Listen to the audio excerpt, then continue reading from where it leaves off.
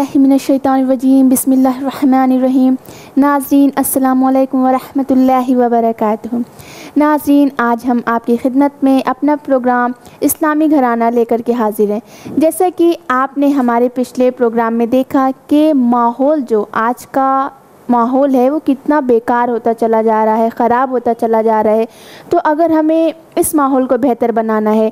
और जो वालदेन हैं, दुनिया की तरफ़ भागे चले जा रहे हैं, दुनियावी चीज़ों को एक्सेप्ट कर रहे हैं, इस्लाम से दूर होते चले जा रहे हैं, और अपने घर को बेहतर बनाने के लिए हमें किन की ज़िम्मेदारी, मर्द की ज़िम्मेदारी है या औरत की ज़िम्मेदारी इन सारी चीज़ों पर हमने बात की थी। और इसी सिलसिले को आगे बढ़ाते हुए आज हम आपकी खिदमत में फिर से हाजिर हैं, और आज हमारे इस प्रोग्राम में हमारे साथ मौजूद हैं।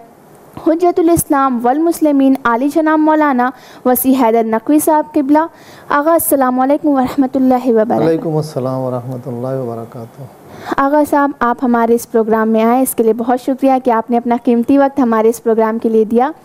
आगा आप इस माहौल में इस दुनिया में ज़िंदगी बसर कर रहे हैं गुजार रहे हैं आप देख रहे हैं कि जो लोग हैं दुनिया की तरफ़ भागे चले जा रहे हैं और जो हमारा घर है हमारे घर से दीन रुखसत होता चला जा रहा है। तो अगर हमें अपने घर को बेहतर बनाना है इस्लामिक बनाना है तो हम किस तरह से बना सकते हैं?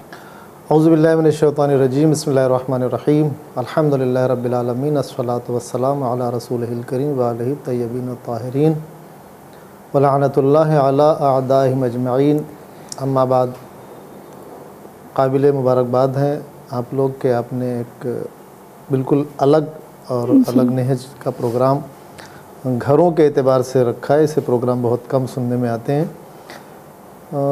घर वाकई में आपने जो कहा है कि घर के अंदर से इस्लाम रुखसत होता जा रहा है। अगर हम ये कहें कि इस्लाम क्या इंसान रुखसत होता जा रहा है? बेशक। घरों पे जब नज़र डालते हैं तो बड़े बड़े घर हैं आलीशान घर हैं बड़ी खूबसूरती है घरों में। लेकिन घर के अंदर क्या है? वो खूबसूरती में क्या है? इंसान को घर बनाने के लिए इस वक्त आज के दौर में बड़ी ख्वाहिशात है। कैसा घर होना चाहिए? बड़े से बड़ा two B H K three B H K Bangalore ये सब बनाना चाहिए। लेकिन इंसान ये नहीं सोच रहा है कि उसके अंदर क्या होना चाहिए। जी।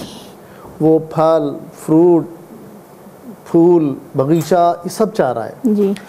लेकिन जो चीज़ होना चाहिए वो उसे फरामोश कर चुका है। वो क्या चीज़ है? वो इसके अंदर रहने वाले इंसान। जी बेशक। सुकून इतमान इंसानियत। ये उसके अंदर होना चाहिए। वो दूर होता चला जा रहा है। वो कैसे दूर हुआ है? उसकी बहुत सारी वजूहत हैं। जी। इंसान ने घर तो बनाया। कभी कभी आप देखिए कि एक इंसान है बहुत अच्छा लिबास पहने है, शक्ल बहुत अच्छी है सब कुछ अच्छा है। जब वो बोलता है तो ऐसा लगता है कि इसका लिबास इसके हैत इसकी शक्ल सूरत इसके मुताबिक नहीं है। उसी तरह हमारे घर होते चले जा रहे हैं। आखिर ये हमारे घरों में हुआ क्यों? इस पर जब गौर किया जाएगा तो काफ़ी मेहनत की ज़रूरत है। एक ज़माना ऐसा था कि घर में ख़वातीन बुज़ुर्गान मर्द औरतें सबका टाइम था। नमाज़ का टाइम हुआ सबके मुसल्ले बिछे। जी। और कुरान पढ़ा जा रहा है। घरों से सुबह में कुरान की आवाज़ें आती थीं। धीरे धीरे वो रुखसत हो जा मैं एक एग्ज़ाम्पल दूँ। घर में एक माँ होती है। जी। जिसके कई बच्चे हों। जो बच्चा एक गोद में है जब ये बड़ा हो जाता है तो ये ज़मीन पर हो जाता है दूसरा गोद में हो। दूसरा गोद में बेशक। लेकिन दोनों की जिम्मेदारियाँ बट जाती हैं। तो उसी तरह ये बच्चा जो नीचे चला गया जबकि माँ की ज़िम्मेदारी अब ये गोद वाले से ज़्यादा उसकी हो गई। है। क्योंकि यहाँ गोद वाले को सिर्फ़ उसका दूध पिलाना है रिस्क देना है कपड़ा पहनाना बस काफ़ी है। अगर वो नंगा भी लेटा है तो कोई हर्ज नहीं लेकिन जो उतर चुका है अब वो नंगा नहीं रह सकता। जी। और बिना लिबास के नहीं रह सकता है। उसको तालीम की भी ज़रूरत है उसे तरबियत की भी ज़रूरत है। इसके लिए जिम्मेदारियाँ बढ़ती चली जाती हैं। हमारे लिए ये हुआ कि जो मुसल्ले बिछे होते थे कुरान भी- पढ़ा जा रहा था घरों से आवाज़ें कुरान की आती थी लड़ाई झगड़े कम थे। तो एक बच्चा मिला टीवी की शक्ल में प्रोग्राम की शक्ल में। जी। माओ को। वो बच्चा प्रोग्राम की शक्ल में जब मिला तो पहले कम कम प्रोग्राम आते टाइम टाइम से आते थे। तो माओ ने उस बच्चे का भी इस्तेमाल किया उस प्रोग्राम का इस्तेमाल किया जो गोद में बच्चा था उसे उतार दिया। गोद में क्या था? कुरान था। गोद में क्या था? मुसल्ले थे हदीसें थी। ये उतरता चला गया दूसरा बच्चा आता चला आता गया। चला गया। उसका इस्तकबाल बड़ी तेज़ी से होता चला गया। टाइम टेबल के हिसाब से खाना वाना पका तैयार है लोग टीवी के सामने अभी ये प्रोग्राम शुरू होना जाए इसका मतलब ये हुआ कि जो पहले था वो उतर गया। जी। लेकिन जो उतर गया उसकी ज़िम्मेदारी भी तो देखें वो लिबास में है कि नहीं है। उसका टाइम खाने का हुआ कि नहीं है उसे एजुकेशन की ज़रूरत है स्कूल गया कि नहीं गया वो नहीं देखा। हमारी दुशारी ये हुई कि बहुत सारे मैं चैनलों का नाम नहीं लूँगा बहुत सारे चैनल चलाए ही इसीलिए गए थे कि हम इनसे वो चीज़ें छीन लें वो बच्चे छीन लें वो उनके घर के प्रोग्राम छीन ले और हम उनके घर का इन्वायरमेंट पूरा बदल दें। बदल गया। जो कुरान हर वक्त गोद में रहा करता था प्रोग्राम गोद में आ गया कुरान चला गया ऊपर अलमारी में चला गया। जी। उसको उतार दिया गया। वो उसको हटा दिया गया। इसको गोद में ले लिया गया। जी। अब जब गोद में ले लिया गया तो घरों में जो पोस्टर भी टंगते थे तो कुछ आयत और हदीस लिखी होती थी। अब आयत और हदीस नहीं होती कैलेंडर भी आता है तो इसमें कोई तस्वीर बनी होती है। जी। धीरे धीरे वो इन्वायरमेंट बदलता चला गया। वो माहौल और हालात बदलते चले गए। घरों से एक चीज़ रुखसत हो गई भाई ज़ाहिर सी बात है अगर किसी ज़र्फ में 10 किलो की कैपेसिटी है जी। और आप 10 किलो उसमें कुछ बढ़ाना चाहें तो कुछ तो निकालना कुछ पड़ेगा तो निकालना पड़ेगा। तो यही हुआ। हमारे घर से इंसान निकल गया। कुरान निकल गया। और टीवी आ गई। और प्रोग्राम आ गए। हाँ, खाली टीवी टीवी हाँ, का तो इस्तेमाल बहुत कुछ हाँ, हो हाँ, सकता है। तो अच्छा भी इस्तेमाल अभी आप लोग टीवी का इस्तेमाल हाँ कर रहे हैं। तो प्रोग्राम आ गए। जी। तो हमको ये देखना चाहिए कि आखिर इन प्रोग्रामों से हमारे बच्चों पर हमारे घरों पर असर क्या हुआ। जैसे मैं आपको एक एग्जांपल और दूँ। मैं कई जगह पर ऐसा गया तो देखा खूबसूरत बच्चों की फ़ोटो लगी हैं। जो। बाज़ार में बिकते हैं बड़े बड़े कैलेंडर वो फ़ोटो लगी हैं। हमने पूछा ये फ़ोटो क्यों लगी है? कहा वो असल में डॉक्टर ने कहा है कि जितना खूबसूरत चीज़ें देखोगे तो तुम्हारे बच्चे बच्चे हाँ। वैसे ही होंगे। जी। मैंने कहा भाई ये तो अजीब सी बात है। क्या कुरान से खूबसूरत ही बच्चे? अगर उसकी जगह आयत कुरान होती जी बेशक। अगर उसकी जगह हदीस लिखी होती तो क्या वो माँ जब कुरान पढ़ती तो उसके ऊपर एक कुरान का असर नहीं होता? ये क्या हुआ? वहाँ पहले वही होता था। घरों में कुरान पढ़ा जाता था। बुज़ुर्ग ख़वातीन कहती थी, बेटा, ये वाली ये वाली कुरान, ये सूरा पढ़ो, ये आयतें पढ़ो, ये हदीस पढ़ो, ये वाली नमाज़ पढ़ो लो। अब क्या होगा? इजी डॉक्टर ने बताया तो खूबसूरत चीज़ें, खूबसूरत हवालात तो खूबसूरत माहौल भी तो बनाओ तुमने एक फ़ोटो लगा दिया तो समझा कि इस बच्चे का, बच्चे पर उस फ़ोटो का असर आएगा। तो टेलीविज़न का किस पर असर आएगा? वो नीम उरियाँ खातून, नीम उरियाँ आदमी। वो गाने उस इसका भी तो असर आएगा। जी। ये अडॉप्ट करते गए और अपना बच्चा हम छोड़ते गए उनका लेते गए। वो प्रोग्राम आते गए और हम अपने बच्चों पर वो चीज़ें लागू करना ही भूल गए कि इनको ज़ाहिर सी बात है अभी जो बच्चा बैठा दो बजे रात तक या ग्यारह बजे रात तक बैठ के टेलीविज़न देख रहा है उसको सुबह की नमाज़ के लिए आप कैसे उठाएँगे? जी बेशक। ये जाता गया और ये आता, आता गया। गया। इसलिए घरों से इस्लाम रुखसत हो गया। ऐसा नहीं सब घरों में नहीं ऐसा नहीं हुआ सब घरों में नहीं इस्लाम घरों में। इस्लाम रुखसत हो गया मुसलमान है। घर में हाँ, इस्लाम नहीं है। है। मुसलमान मुसलमान बाकी है। शायद मेरी बात को लोगों को अच्छी ना लगे। ये जो इंसान दिख रहा है जिसका नाम वसी हैदर है इसके अंदर देखो कितना मुसलमान है। इंसान कितना इसके अंदर बचा है। कितने परसेंट इस्लाम बचा है। आप सोना खरीदने जाते हैं तो पूछे कितने कैरेट का है। तो कितने कैरेट का इस्लाम इसके पास बचा है? इसके घर में कितना इस्लाम बचा है? कितने टाइम कुरान पढ़ा जाता है कितने टाइम दीन की बात होती है कितने टाइम इंसानियत की बात होती है। घरों से इस्लाम का मकसद ये था कि आपके जितने रिश्तेदार हैं आपसे दूर नहीं होना चाहिए। जी बेशक। कतः रहमी नहीं होना चाहिए। लड़ाई झगड़े नहीं होना चाहिए। क्या इससे हम दूरी इख्तियार कर पा रहे हैं? इसके करीब जा रहे हैं लड़ाई के करीब जा रहे हैं। कतः रहमी ज़्यादा हो रही है रिश्तेदार ज़्यादा छूट रहे हैं तलाक़ें ज़्यादा हो रही हैं। भाई भाई में बोलचाल नहीं है माँ बाप माँ बाप में औलाद में बोलचाल नहीं है। तो अगर जो ये माँ बाप में बोलचाल नहीं है भाई भाई में बोलचाल नहीं है झगड़े फसाद चल रहे हैं अगर इस चीज़ को दूर करना है तो हम किस तरह से कर सकते हैं? हाँ ये आपका सवाल बिल्कुल अलग नोयत का है। जी। किस तरह से कर सकते हैं? हर तरह को लाने के लिए इंसान को कुछ न कुछ कुर्बानी और कुछ ना कुछ जहमात उठाना पड़ता है। जी बेशक। घर में जब बदबूदार कचरा जमा हो जाता है तो क्या किया जाता है? रखे रहने देते नहीं। क्या करते हैं? फेंक देते हैं? फेंक देती हूँ उठा। तो घर के अंदर जो बदबूदार कचरा है उसे फेंको। यानी तुम्हारे टेलीविज़न में जो पहले छोटा सा ब्लैक एंड वाइट आता था उससे बड़ा हुआ उससे बड़ा हुआ अब तो माशाल्लाह से एलईडी और बड़ी बड़ी आ गए पचास पचास। इसमें जो आ रहा है इसमें जो मसाला रखा जा रहा है उसे फेंको। टेलीविज़न मत फेंको। इसके अंदर जो आ रहा है वो प्रोग्राम ब्लॉक करो उसका रिचार्ज मत करो।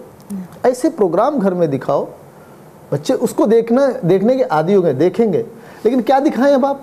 अब ऐसी चीज़ें दिखाएँ जिससे उस इंसान के अंदर की इंसानियत बेदार हो। जी। ऐसी चीज़ें दिखाएँ कि अगर वो अपने भाई से बात नहीं करता है तो वो जाके भाई से बातें करने लगे। जी बेशक। अगर वो अपनी बहन से नाराज़ हो तो उसके घर जाए। अगर माँ बाप से बात नहीं करता है झगड़ा हो गया है अलग हो गया है तो उससे खौफ आना चाहिए कि मैंने क्या जो जुल्म कर दिया अपने माँ बाप पर? मैंने बड़ा मुजरिम बन गया हूँ। वो चीज़ें इस कचरे को बाहर निकालें और इसकी जगह पर खूबसूरत और महकते हुए गुलदस्ते को ला के रखें। वो गुलदस्ता क्या है? और वो कहाँ मिलेगा? वो है एक अच्छी तालीम। जी बेशक। दीन की तालीम आल मोहम्मद की तालीम उनकी सीरत उनका कैरेक्टर उनका किरदार घर में उन्होंने कैसे अपने बच्चों को कैसे परवरिश किया है उनको पाला कैसे है उनको रिज्क कैसे खिला हर चीज़ पर तवज्जो दी जाए तो वो कचरा जब बाहर निकल जाएगा और ये महकते गुलदस्ते जब आ जाएँगे तो सब महकने लगेंगे। कोई बेटे की शक्ल का फूल होगा कोई बेटी की शक्ल और इसी तरह से घर इस्लामिक बन जाएगा। घर एक अच्छा इस्लामिक घर हो जाएगा और उस घर से एक महक आएगी मोहब्बत की खुशबू की। और इसी तरह से लोग भी इंस्पायर होंगे उस घर से और अपने घर को बेहतर बनाना हाँ तो चाहेंगे। ज़ाहिर सी बात है जब आपका एक घर असल में एक मुश्किल ये पेश आ गई है। जब इस्लाम की बात आती है लोग समझते हैं एक ऐसा आदमी जो बहुत पुराना आदमी हो वो इस्लामी कैसे हो सकता है और ऐसा वैसा नहीं। इस्लाम हर ज़माने में नया है। जी। लोग ये समझते हैं कि हम इस्लाम पर चले जाएँगे तो ओल्ड कहलाएँगे अरे बड़े पुरानी सोच के लोग हैं। नहीं इस्लाम हर ज़माने के लिए नया है। जी। जैसे एक बच्चा जब अगली क्लास में जाता है तो उसे लगता है कि पिछली जो क्लास थी वो ओल्ड थी। ओल्ड थी। अगर ये ऐसा होता तो खुदा वहदउल्ला शरीक इस्लाम को ही ना रखता तो हर ज़माने के लिहाज से एक नया उसे इस्लाम देता। जी। इस्लाम हर ज़माने के लिए न्यू है। जी। क्या इस्लाम ने मना किया आप तालीम हासिल ना करें? क्या इस्लाम ने मना किया आप प्लेन ना बनाएँ? क्या इस्लाम ने मना किया कि हवाई जहाज़ में ना उड़ें? क्या इस्लाम ने मना किया आप साइंस ना पढ़ें? क्या इस्लाम ने मना किया कि आप अच्छा लिबास ना बने? कहाँ मना किया इस्लाम ने? क्या इस्लाम ने मना किया आपने बंगला ना बनाए क्या इस्लाम ने मना किया बड़ा सा घर न लें? इस्लाम ने कभी मना नहीं किया है कि इस्लाम ने नहीं कहा कि तो आप बेहतरीन कपड़ा पहनिए। अगर खुदा ने खुदा तो कह रहा है कि तुमको मैंने इस चीज़ दी है तो तुम इसे इस्तेमाल करो। नहीं इस्तेमाल करो तो भी पूछूँगा। हमने तुम्हें दिया था तुमने क्यों नहीं इस्तेमाल किया? लिहाजा इस तरह अगर हम इन चीज़ों को जो हमारे प्रोग्राम आ रहे हैं जी। हमारे बच्चों के सामने जो चीज़ें यहूदियों की ईसाइयों की रखी जा रही हैं हम उस बदबू को निकाल दें क्योंकि सबसे बड़ा अगर इस्लाम का इंसानियत का कोई दुश्मन है जो तुम्हारे सामने आ नहीं रहा है लेकिन वो अपनी बातें पहुँचा रहा है? वो यहूदियत और ईसाइत है। जी। इन्होंने अपना माहौल आपके घर में ले भेज दिया और आपका माहौल ले लिया। ले लिया निकाल दिया घर से तो इंशाल्लाह अगर तमाम घर वाले इस बात पर मुतफिक हो जाएँ कि हमको आले मोहम्मद पैगंबर इस्लाम कुरान मजीद इस सीरत को ही पकड़ना और ये हर ज़माने के लिए न्यू है। जी सुबह अगर जो आपने कहा कि लोग इस्लाम को समझ नहीं पा रहे इस्लाम ने तो किसी चीज़ के लिए नहीं मना कि इसकी साइंस मत पढ़ो तुम कॉमर्स मत पढ़ो मतलब इस्लाम ने कहा कि तुम हर चीज़ पढ़ो इस्लाम हर ज़माने के लिए नया है। लेकिन लोग इस चीज़ को समझ क्यों नहीं पा रहे? सिर्फ़ दुनिया की तरफ़ भाग रहे दुनिया की तालीम को एक्सेप्ट कर रहे और दीनी तालीम से दूर क्यों भागे चले जा रहे हैं? इसकी वजह क्या वजह ये होती है कि इंसान सिक्के का एक पहलू देख रहा है। जी। उससे ये नहीं पता होता जैसे अभी बहुत सारी दवाएँ हैं। लोग जाते हैं मेडिकल स्टोर पर भाई ये सर दर्द हो रहा गोली दे दो। जी। वो गोली खा ली उसने। डॉक्टर क्या कह रहा है कि इसका साइड इफ़ेक्ट हो रहा है। कब उसे पता चलता है? जब उसका बदन कमज़ोर हो जाता है। जी जब उसके बदन में ताकत रहती है तब तक उसे पता नहीं चलता है कि मेरे साइड इफ़ेक्ट क्या क्या हो रहा है। किडनी खराब हो रही है लीवर खराब हो रहा है पेट खराब हो रहा है क्या हो रहा है। ताकत है उसे समझ में नहीं आ रहा। लेकिन जब कमज़ोर हो जाता है यही हाल हमारे माशरे का है। जब बच्चे छोटे होते हैं जबकि आपको एक घर बनाने के लिए आपके यानी जब आप समझदार कमाने लगे हैं आपकी शादी से पहले आपको प्लानिंग करना है मेरे घर का इन्वायरमेंट कैसा कैसा हो। तो फिर आप एक इस्लामी घर बना सकते हैं। तो साइड इफ़ेक्ट कब पता चलता है। अब बेटा जवान हो गया बेटी जवान हो गई। अब बेटा जब गर्ल फ्रेंड लेके आता है तब अब पता चलता है इसका साइड इफ़ेक्ट क्या था। हमने मदरसे नहीं भेजा खाली कॉलेज भेजा तो कॉलेज का सीखा। जी। हम मजलिस साथ में नहीं ले गए मजलिस सुनाई नहीं हमने उसको। जी।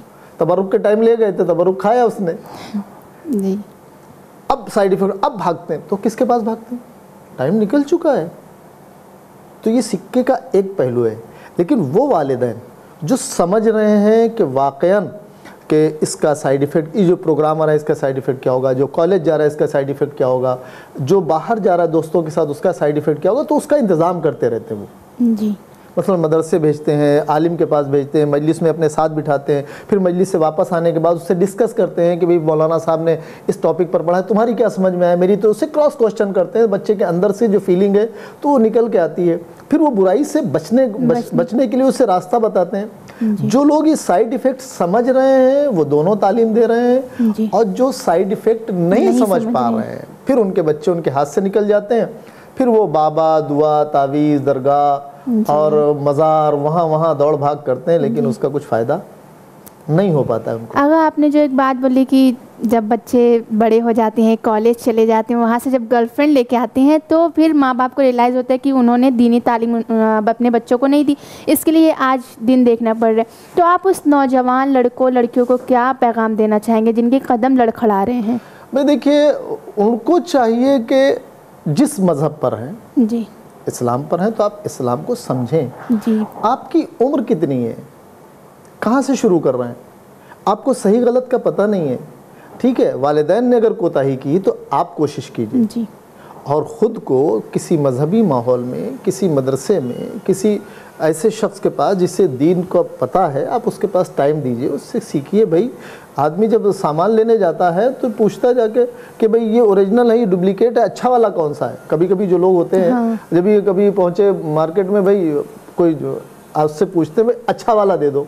हमको नहीं पता है कि इसमें डुप्लीकेट को हमें इतना इसका अंदाज़ा नहीं होता है। तो हम उस पर भरोसा कर लेते हैं दुकान पर भाई हमें चश्मा चाहिए था हमने कहा भाई अच्छा वाला फ्रेम दे दो हमको पता नहीं है अच्छा वाला कौन सा होता है। तो हम उस वक्त दुकान वाले पर भरोसा करते हैं।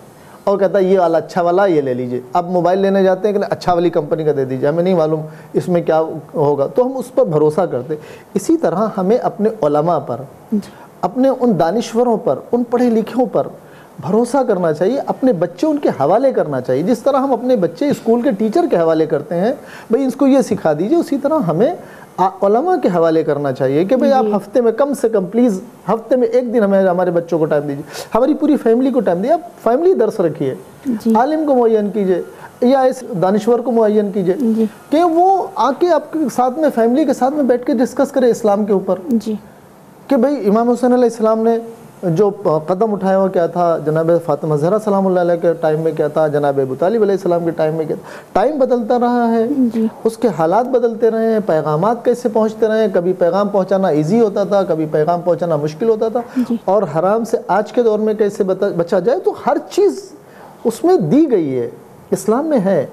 वो वालदेन को जिनको चाहिए कि अगर चाहते हैं उनके बच्चे ठीक हो जाए या जिनके बच्चे ठीक हो और अच्छे हो जाए जी। तो फिर वो इतनी कोशिश करें कम से कम एक आलिम को हफ़्ते में एक दिन अपने घर बुलाएँ। जी। दुआ के लिए भाई दुआए कुमैल पढ़िए और उसका तर्जुमा बताइए और हमको कुछ दीन के बारे में बताइए कहाँ कहाँ हमारी कोताहियाँ हो रही हैं और अपने अपने मसाइल उनसे शेयर करें। कि आगा आज हमारे हमसे हमें मसाल मसला पेश आया हम ऑफ़िस में थे हमें ये मसला पेश आया हम ट्रेन में थे हमें ये मसला पेश आया उसके हल क्या हैं? और हम हराम से कैसे बच सके? कम से कम हफ़्ते में हम ये काम करेंगे तो इन हमारा घर ऐसा। इस्लाम होगा कि लोग आपकी मिसाल देंगे कि भाई घर बनाना है तो ऐसा घर बनाओ घर बच्चे बनाओ। बनाना है तो ऐसे बनाओ। सुबहान अल्लाह अगर आपने जो एक चीज़ बताई कि हराम हराम के बारे में आपने डिस्कस किया तो ये जो हराम जिस तरह से इस्लाम ने हुक्म दिया है कि इस्लाम अ, हराम से बचो हराम से दूर रहो तो इस हराम का घर के इन्वायरमेंट पे घर के माहौल पर क्या असर होता है? बहुत ज़्यादा असर पड़ता है बहुत ज़्यादा असर पड़ता है। मुझे एक जुमला याद आ रहा है इमाम हुसैन अलैहिस्सलाम का मैदान करबला का। जी। कि जब इमाम बता रहे थे उनको खुतबा दे रहे थे उनसे सवाल कर रहे थे उन पर असर नहीं हो रहा था। इमाम से पूछा कि मौला असर क्यों नहीं हो रहा है? तो इमाम ने बताया इनके शिकम हराम से भर चुके हैं। तो हराम गज़ा का बहुत बड़ा माँ बाप की नहीं सुनेंगे इस्लाम की भी नहीं सुनेंगे कुरान की भी नहीं सुनेंगे अगर हराम हाँ उसको अगर वाक़ जिसका ऐसा हाल हो गया है जैसे मैं आपको एक मिसाल दूँ आप लोग तो किचन में मिक्सर तो होता ही है। जी। आप उस मिक्सर में पानी डालिए कुछ ऑयल डाल दीजिए। चलाइए। जब तक वो चलेगा वो ऑयल और पानी अलग नहीं होगा। एक साथ रहेगा। लेकिन जैसे ही आप मिक्सर को रोक देंगे अलग हो जाएगा। ऑयल अलग हो जाएगा। पानी अलग। पानी अलग हो जाएगा। तो वो मिक्सर चलता रहना चाहिए। अगर खुदा न खास्ता कुछ हराम गज़ा गई है तो उसके लिए तौबा का दरवाज़ा है। और वो मिक्सर चलता रहे। वो मिक्सर क्या है? उसको आयात उसको अहादीस उसको दुआएँ। इमाम सज्जाद अलैहिस्सलाम की सहीफ़ कामिला हर घर में होना चाहिए। अगर घर को वाकई इस्लाम बनाना है घरों में क्या मिलेगा? आपको अच्छे अच्छे सामने जाइए सोकेश में नाविलें मिलेंगी किताबें दूसरी मिलेंगी। आप वहाँ इमाम सज्जाद की दुआओं की किताब है। इमाम हुसैन अलैहिस्सलाम की दुआओं की किताब है। इमाम अली अलैहिस्सलाम की दुआओं की किताब है जनाब सैदा की दुआओं की किताब है। इस किताबें मौजूद हैं नहजुल बलागा है कुरान सामने होना चाहिए जैसे नज़र पड़े तो कुरान पर नज़र पड़े। जी। तो इस तरह से अगर हम चाहेंगे तो वो मिक्सर चलता रहे। जैसे मैंने अभी अर्ज़ किया कि एक हफ़्ते में फैमिली क्लास होनी चाहिए। जी। एक आलिम दिन से हर एक के टच में कोई ना कोई आलिम होता है। आगा साहब हफ़्ते में प्लीज़ मेरे यहाँ एक दिन फला दिन हम लोगों की छुट्टी होती आप हमारे यहाँ आ जाइए एक घंटे के लिए। क्यों आ जाए? हम लोगों को कुछ इस्लाम के बारे में डिस्कस करना है आपसे। तो अगर ये फैमिली दर्द शुरू हो जाएगा तो वाकई वो बदबू वो प्रोग्राम वो गलत चीज़ें माँ बाप को भी सुकून मिलेगा। और हमें भी ज़िंदगी कितनी दिन गुजारनी है। जिन इस दुनिया में हमें हिसाब देना है वहाँ जाके तो उस हिसाब के लिए हम यहीं आमादा हो जाए ना। तो अगर हम लोग ये करते हैं और ये हराम से फिर बच जाएँगे।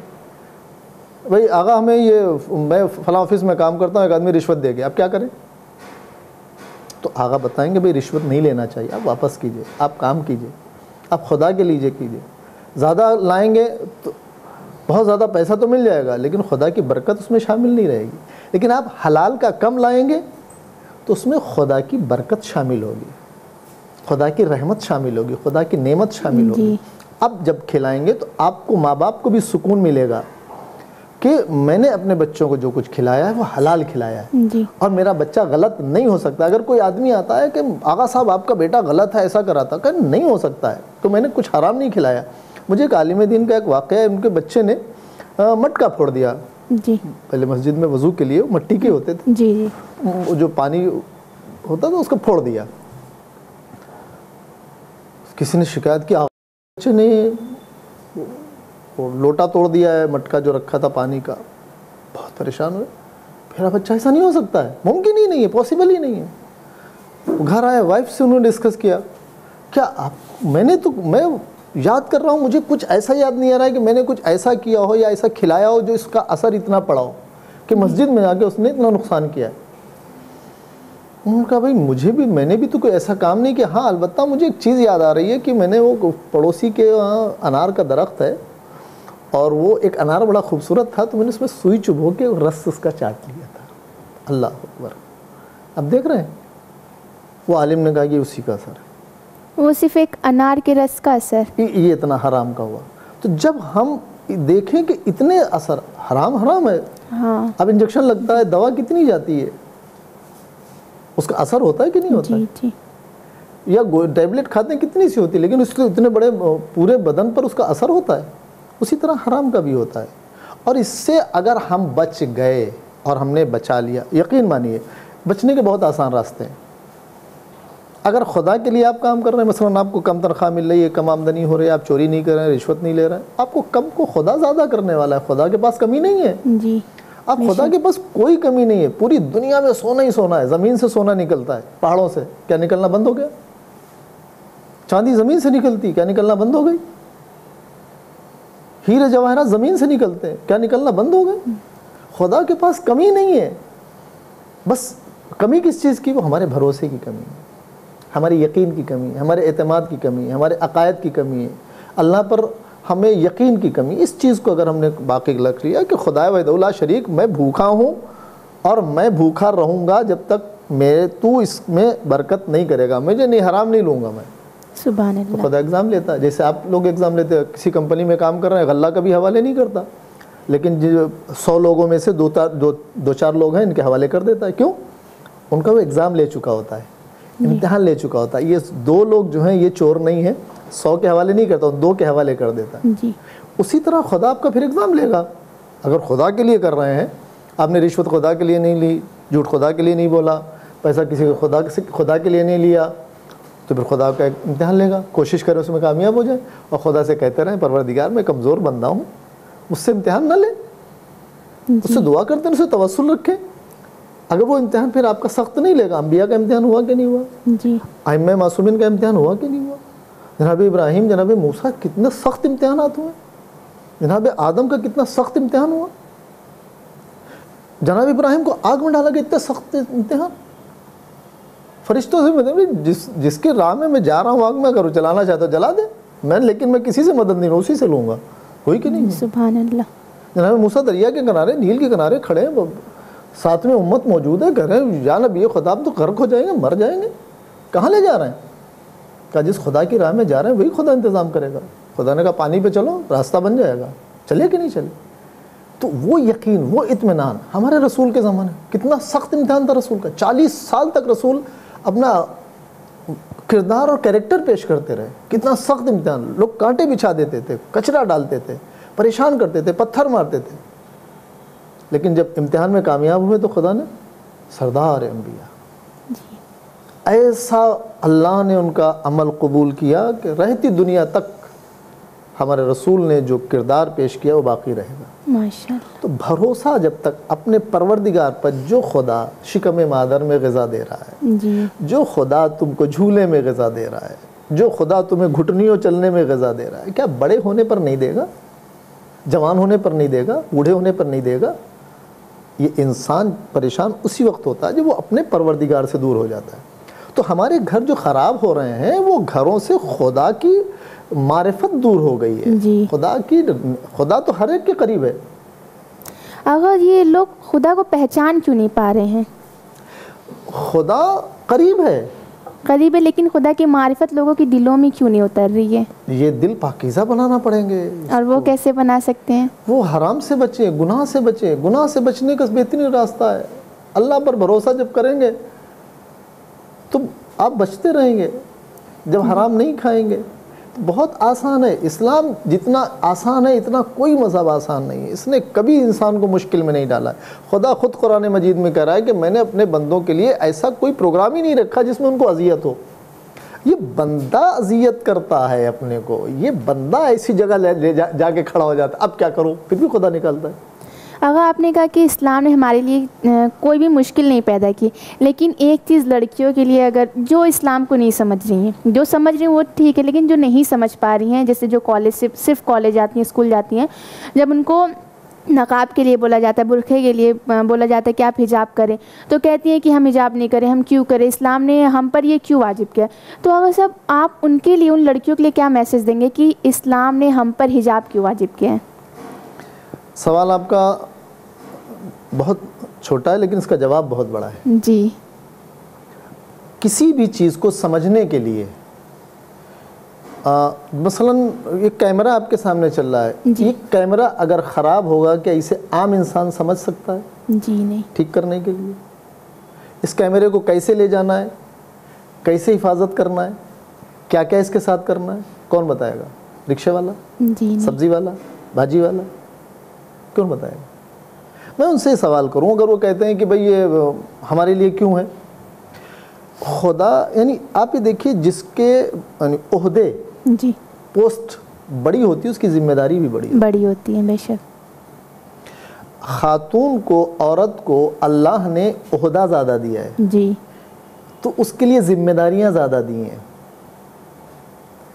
आज साइंस इस बात को कह रही है कि इसका इस इन्वायरमेंट का आपके बच्चे पर असर पड़ेगा। जी। तो इस हिजाब का असर नहीं पड़ेगा? बेशक पड़ेगा। तो फिर कोई को साइंस की बात क्यों मान रहा है? अल्लाह की क्यों नहीं मान रहा? अल इस्लाम ने जो कहा है कि आप इस तरह रहें। इस तरह रहने का मतलब ये है कि एक माशरा जो तश्कील दिया जाएगा एक सोसाइटी जो तैयार होगी वो कैसी हो? हमारी इस्लामिक सोसाइटी और यूरोपियन सोसाइटी में यही फ़र्क है। इस्लाम एक दूसरे की इज़्ज़त करता है इज़्ज़त देता है चाहे वो जिस्मानी लिहाज से हो जी। बदन के लिहाज से हो लिबास के लिहाज से हो यूरोपियन सिस्टम में ये चीज़ नहीं है। वो लिबास और बदन के लिहाज से एक दूसरे की इज़्ज़त नहीं कर रहे हैं। लिहाजा इंसान को अल्लाह ने औरतों को ये हुक्म दिया है कि आप हिजाब में रहें। जी। हिजाब कैद नहीं है हिजाब नेमत है उनके जी बेशक। और ये नेमत हर एक की समझ में नहीं आती है। वही समझ सकता है जिसको खुद अपनी वैल्यू समझ में आ जाती है। माशाल्लाह। जिसको अपनी वैल्यू समझ में आ जाएगी तो फिर वो उस चीज़ की हिफाजत करता है। अगर सामान से मिसाल नहीं देना चाहिए आ, लेकिन इसके अलावा कोई चारा नहीं है कि मिसाल दी जाए। जी। बतौर मिसाल है एग्ज़ाम्पल है। आपको सोने की वैल्यू पता है नोटों की वैल्यू पता है। ये खातून उससे भी ज़्यादा अफजल है। जी। और इसकी वैल्यू खुदा ने बताई है कि तुम इस तरह रहो, तुम्हारी वैल्यू ज़्यादा है। तुम्हारा हिजाब में रहना मुझे पसंद है। और जब तुम हिजाब में रहोगी, तुम एक सोसाइटी को मेंटेन कर सकती हो। और इसीलिए हमारे यहाँ, इस्लाम में क़त रहमी मना किया गया। है यूरोपियन सिस्टम में क़त रहमी हो जाती है। लड़का लड़की जवान हो गया, वो माँ बाप उनके असर, उनके, उन माँ बाप से कोई मतलब ही नहीं है। वो जाएँ आवारा गर्दी करें, शराब पिएँ, शादी करें, कुछ करें माँ बाप का अख्तियार नहीं रहा उन पर। इस्लाम इसका अगेंस्ट है, नहीं। तुम माँ बाप के साथ रहो। हती के एहसान करने के लिए कहा है। लिहाजा हम कोशिश करें। हिजाब कोई बुरी चीज़ नहीं है। अल्लाह ने आपकी वैल्यू को ज़्यादा रखा है, इसलिए आपके लिए हिजाब रखा है। और कोशिश करेंगे जब आप बाहिजाब रहेंगे तो आपका घर भी एक इस्लामी घर कहलाएगा। जिस घर से इस्लाम निकलेगा उसी घर में इस्लाम वापस आएगा। जी। सुबहान अल्लाह नाजरीन आपने देखा कि आगा ने बताया कि हिजाब हम पर क्यों वाजिब है। हमें अपनी वैल्यू समझने की ज़रूरत है। जब हम अपनी वैल्यू को समझेंगे तो हम अपने आप को पर्दे में रखेंगे। आगा साहब घर को इस्लामिक बनाने के लिए बहुत सी चीज़ें हैं जो अपना अहम किरदार निभा रही हैं। जैसे हिजाब हो गया अखलाक हो गया बहुत सारी चीज़ें। इसी तरह से नमाज़ का भी एक रोल है। तो आप हमारे नाजरन को बताएँ कि नमाज़ का क्या रोल है अपने घर को इस्लामिक बनाने के लिए। देखिए आपने मैंने इस चीज़ को स्टार्टिंग में ही कहा था कि घर के अंदर कुछ चीज़ें थी मुसल्ले बिछे रहते थे। सामने रहल में कुरान रखा रहता था। जी। वो चीज़ें हट गई। उनकी जगह प्रोग्राम आ गए वो भी टीवी के प्रोग्राम बरहना प्रोग्राम गाने बजाने सीरियल की शक्ल में फ़िल्म की शक्ल में। जी। तो अगर हम अपने घर को एक ऐसे एनवायरनमेंट में ले जाएँगे आप देखिए स्कूल का एनवायरनमेंट क्या होता है?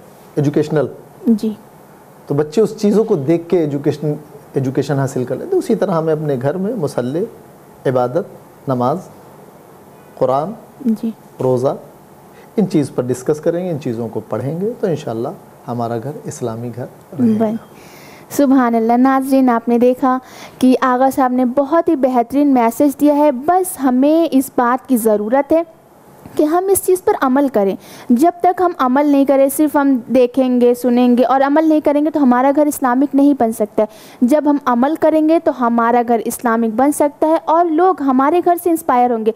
जब लोग हमारे घर से इंस्पायर होंगे, लोग अपने घर को इस्लामिक बनाएँगे, इस तरह से सोसाइटी इस्लामिक बन जाएगी। जब सोसाइटी इस्लामिक बन जाएगी तो एक स्टेट, एक मुल्क इस्लामिक बन सकता है। तो बस ज़रूरत इस बात की है कि हम इस चीज़ पर अमल करें। और नाजरीन अगर आप हमारे इस प्रोग्राम में शिरकत करना चाहते हैं, अगर आपका घर इस्लामिक है, आप लोगों को बताना चाहते हैं कि आपने किस तरह से अमल किया है और किस तरह से अपने घर को इस्लामिक बनाया है तो आप जैनबिया चैनल से रबता करें और आप जैनबिया चैनल से रबता करें और हमारे इस प्रोग्राम में आकर शिरकत करें। इन अगला प्रोग्राम हम आपकी खिदमत में लेकर के फिर से हाजिर होंगे। तब तक के लिए वसलम वरहमल वर्का